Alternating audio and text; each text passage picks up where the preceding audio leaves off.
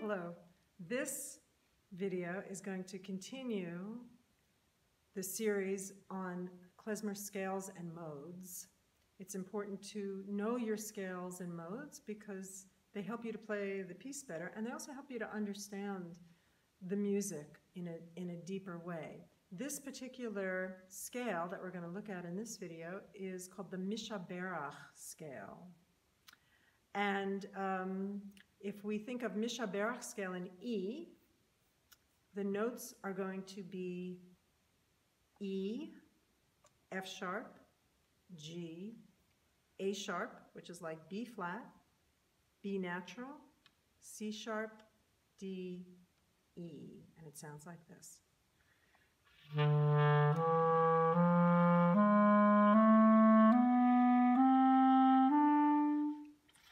in the upper register, it's going to start on E, F sharp, G, A sharp, B, C sharp, D, E.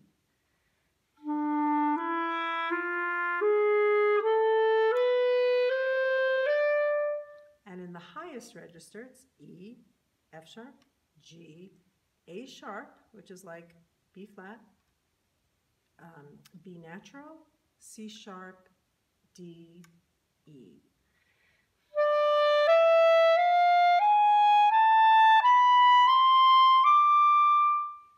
So let's try it together. We'll do each octave at a time, okay?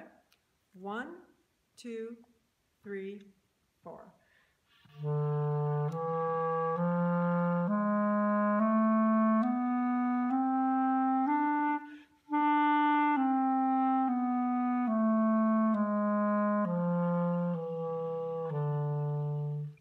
now starting on this E, one, two, three, four.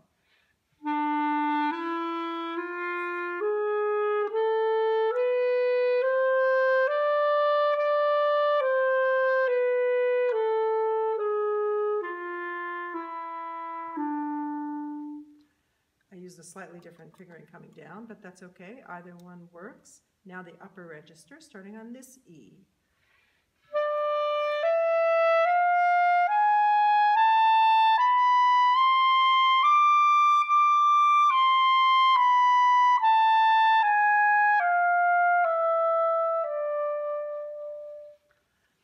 So we're going to work on a little tune called Kolomeyka, and I'm sure you've heard it. It's all over YouTube. Klezmer bands play it all the time. It doesn't actually start on E. E is our tonic. It starts on B, the fifth degree of the of the E mode. But um, but you'll see how it just uses these notes of the scale. And that A sharp, that A sharp to B natural, it's it's sort of like a klezmer blue note kind of. It's got a lot of a lot of weight and a lot of color. So this is Kolomeyka. We'll do it slow. One, two, three, four.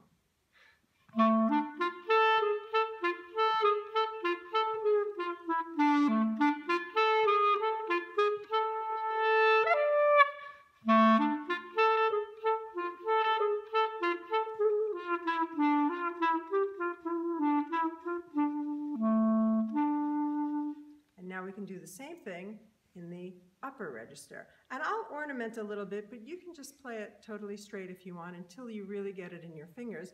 And then you can look at some of the other videos on ornamentation and work it all together.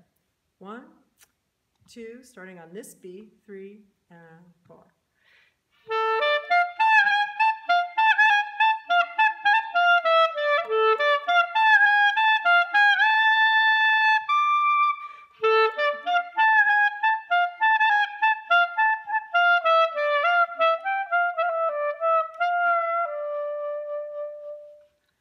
That's Kolomeyka. So you can find lots more on my YouTube channel, on Facebook, my Facebook page, which is at Robin Clarinet, also on my website, www.robinseletsky.com. And absolutely feel free to get in touch with me, to let me know if you find these helpful, or if I can answer any questions. Thanks.